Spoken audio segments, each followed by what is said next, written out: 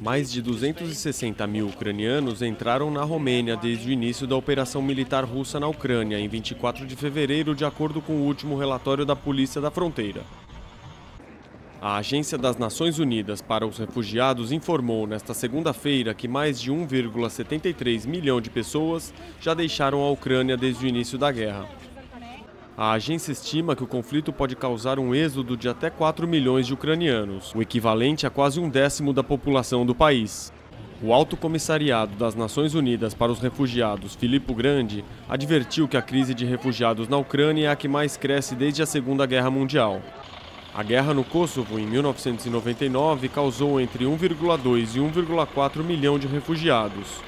E o conflito na Bósnia, entre 1992 e 1995, fez com que quase 1,3 milhão de bósnios deixassem o país. Na semana passada, a ONU pediu à comunidade internacional 1,7 bilhão de dólares para financiar ajuda a refugiados ucranianos e outras ações humanitárias na Ucrânia e países vizinhos.